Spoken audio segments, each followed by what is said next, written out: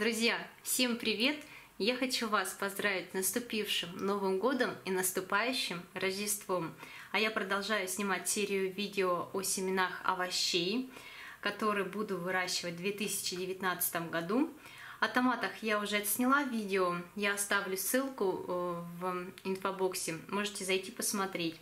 А сегодня речь пойдет о перцах и о баклажанах. Но прежде чем сказать о перцах и о баклажанах, у меня здесь еще одно приобретение томатов, э, о которых я не могу вам не сказать. Это томат сорт Марцана, Сан Марцана. Эти томаты я купила, основываясь на отзывы. Это итальянский сорт. Э, купила с конкретной целью для томатного сока изготовления и для вяления, потому что этот именно сорт томатов – очень подходит, чтобы их вялить. Также они хороши и э, цельноплодное закрывание в собственном соку, и соусы, аджики и так далее. Он э, мясистый, э, красный, плоды плотные, э, весом около 100 грамм, дружно созревают. Если не успел даже собрать веточки, они не портятся. И, как я уже сказала, он идеален для сушки. В этом году я хочу побольше насушить томатов, а закрыть их как заготовку в масле. Я уже в этом году попробовала, только у меня был сорт Каспар. Я даже не делала на него обзор, а просто для эксперимента. Неплохо получилось, мне понравилось. Поэтому в этом году э, есть опробованный рецепт вяленых томатов в масле. Э, и буду закрывать, конечно, поделюсь с вами рецептом. И вот такой у меня еще появился сорт томатов. Честно сказать, у меня еще около десятка появилось новых сортов томатов, потому что мы обменивались со зрителями томатами. Вот. И так я просто еще подкупила немножко. В общем, около 10 сортов еще новых у меня. Но их даже показывать не буду, потому что, в принципе, наверное, сажать я их не буду. Оставлю на следующий год.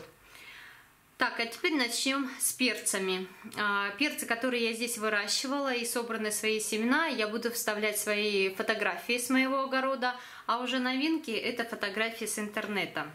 Начну обзор вот с такого венгерского сорта Альма Паприка. А, как раз этот сорт идеален для паприки. Раннеспелый, урожайный, в биологической спелости приобретает красный окрас – Форма перца округлая, еще его называют яблочная паприка, э, с толстыми стенками, мякоть сладкая, хрустящая и, как я уже сказала, с легкой остринкой.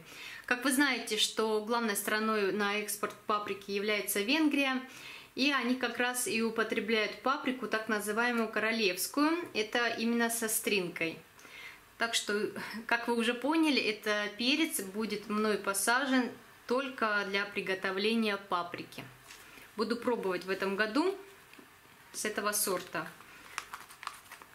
Дальше у меня идет гибрид. Это гиганта Росса.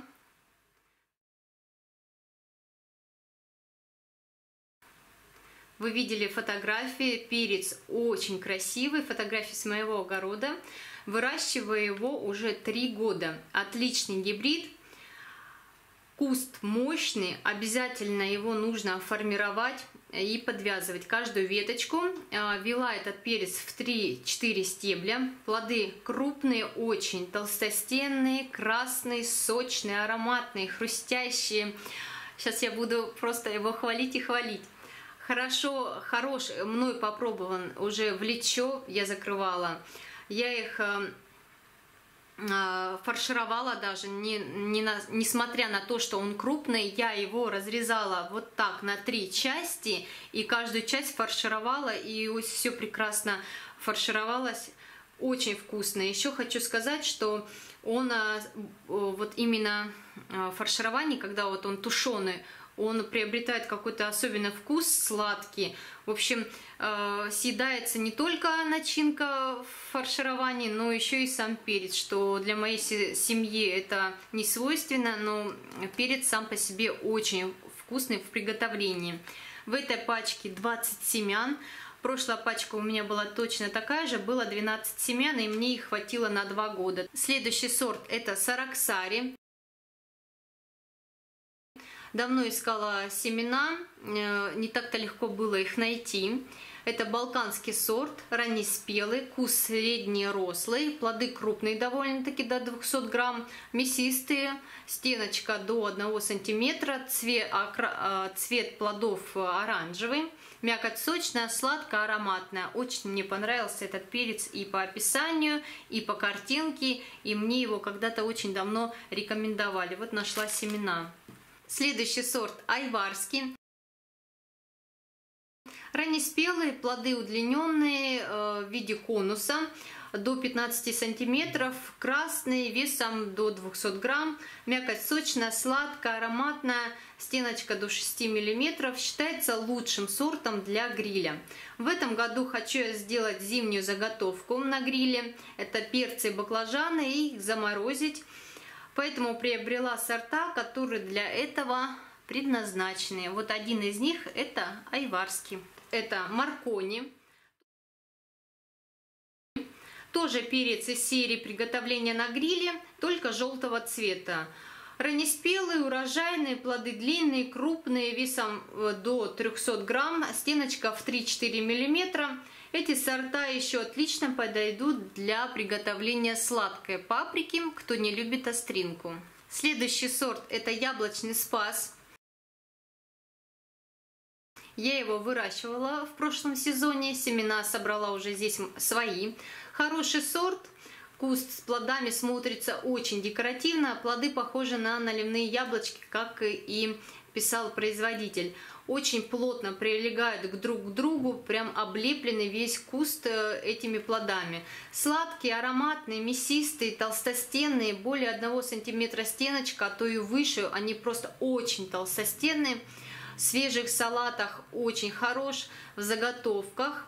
Я его как раз таки запекала на мангале и замораживала э, для приготовления э, пиццы вкусные. Единственное, что Э, хочу сказать, что он очень сочный и очень толстостенный. Поэтому при разморозке он выделял очень много жидкости. Поэтому вот этот сорт все-таки он не для запекания и последующей заморозки. Есть определенные сорта, о которых я сейчас говорю, которые действительно выведены для запекания и подходят э, на 100% но его стоит посадить не как, конечно, основной урожай для снятия основного урожая, а, а чтобы вот именно полюбоваться, полакомиться вот таким очень вкусным перцем. Мне он понравился, поэтому я его буду высаживать. 3-4 кустика, этого достаточно. Следующий сорт из новинок это перец сладкий Дольче Итальяно, тоже сортовые. Мы вообще этим сортом поменялись семенами с моей зрительницей. Это она мне прислала вот такие семена, 5 штучек. И буквально там через недельку, представляете, мне их э, уже подарили в пачке. То есть э, вот, еще семена. Но Семена в этом году этого сорта я не буду высевать, так как у меня уже более 10 сортов получается, а в теплице места мало. По большей части перца я высаживаю только в теплице. Единственное, острый могу посадить в открытый грунт, потому что все-таки в теплице э, урожай снимается по максимуму. Вот, и эти семена я оставлю на следующий год. Ну вот тогда, кто хочет, вот тоже он раннеспелый, почитаю вам. Растения, значит, э, не, не высокорослая, плоды крупные, длиной 15-18 сантиметров, стеночка 4-5 миллиметров, красного цвета. Вот такие красивые перцы на картинке. Это уже оставляю на следующий год. Следующий сорт змейка не выращивала, мне его посоветовала знакомая. Выглядит очень декоративно, похож на острый, а это на минуточку все-таки сладкий перец. Он, конечно, тонкостенный, но она сказала, что он очень урожайный, и она его сажает из-за вкуса и аромата. Сказала, что ни с чем не спутаешь аромат этого перца с другими. Она его высушивает как острый на нитке и добавляет прям целиковыми сушеными, добавляет в борщ, в рагу, в супы, в общем, везде-везде и придает неповторимый вот этот э, перечный э, запах Я решила им теплицу не занимать, высажу в горшки, у меня есть 70-литровые горшки, и будут у меня стоять они, э, возможно, в теплице, в дорожке, 2-3 куста, и мне будет достаточно.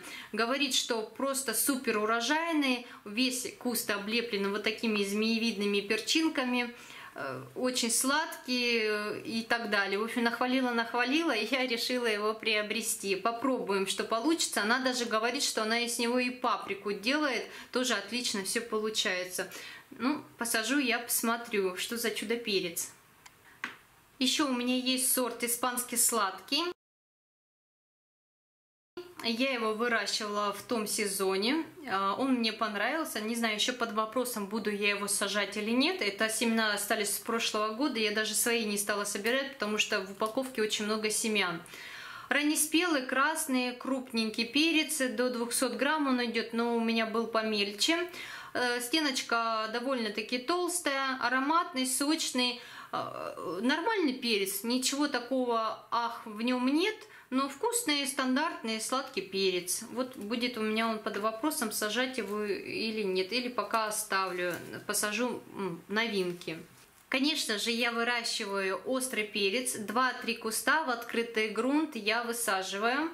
Вот такого букетика на зиму для нашей семьи предостаточно. И знаете, я пробовала очень много сортов, по несколько высевала, и крупноплодные, и длинноплодные, каких только у меня не было. В общем, знаете что, наигралась я перцем, не хочу больше э, выбирать сорта, там что-то пробовать. Меня устроил вот такой перец. Он компактный, небольшой, очень жгучий, очень удобный в применении. Я беру одну-две перчинки, допустим, э, в заготовку положила, все хорошо. А вот эти крупноплодные перцы, начинаешь их резать, э, корректировать остроту и так далее – а это для меня очень удобно, компактно, красиво, декоративно. В общем, нравится мне этот сорт. Э, на кухне он у меня прямо так э, на бечевочке висит декоративно. Мне нравится. Я даже не вытаскиваю семена, вот так вот он висит, и отсюда же я буду его и высевать на рассаду. В этом году также я заказала такие сорта, как Рамира, Рамира оранжевый, Рамира желтый и и Рамира Красный. Вот как раз Рамира Красный я выращивала в прошлом сезоне, собрала свои семена.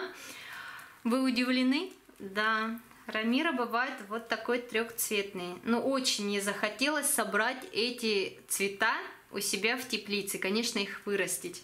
Отличаются они только по цвету. Выращивала я в прошлом сезоне, как уже сказала, Рамира красный, поэтому могу о нем вам рассказать. Это сумасшедший сорт, куст мощный, обязательно его нужно подвязывать в теплице. Вела его в 3-4 стебля. Урожайные плоды длинные, напоминают перец чили до 200 грамм. А, считается один из самых сладких сортов. Стеночка, правда, у него не толстая. Там она идет от 3 до 5 миллиметров. Отлично подходит для запекания, для паприки, для сушки. В свежем виде он очень вкусный. А, приготовление с него пасты с чесноком великолепно получается. А, советую его посадить, но это не забывайте не то растение, которое вы вот посадили и забыли, требует ухода. Но отдача от него будет у вас отличная. В открытом грунте не выращивала, вообще он э, среднего срока созревания – Поэтому считаю целесообразным сажать его в теплице, тогда и э, урожай у вас он отдаст по максимуму. Для небольшой семьи, даже для большой, возможно, даже семьи, посадить три куста, и вам это будет про просто за глаза. На следующий год э, я буду собирать вот э, семена всех этих видов рамира. Еще хочу сказать, что вот рамера оранжевый, как видите, здесь вообще-то нет семян, потому что я заказала эти семена в интернет-магазине, вот желтый рамира, да, и это оранжевый.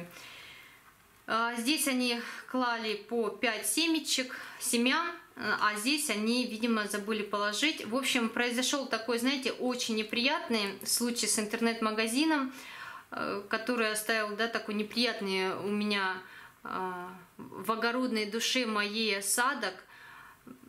потому что я в интернет-магазине, знаете, семена заказываю очень давно. Я их начала заказывать, когда еще их на просторах интернета были, знаете, один, два, три магазинчика садово-огородных и все. И вот такой случай, да, с каким-то неприятным продолжением у меня произошел вообще впервые. И я хотела рассказать, рассказать в этом видео, что за случай там так э, с этим интернет-магазином, но не хочу занимать ни время, ни желания сейчас, ни сил, не хочу рассказывать об этом.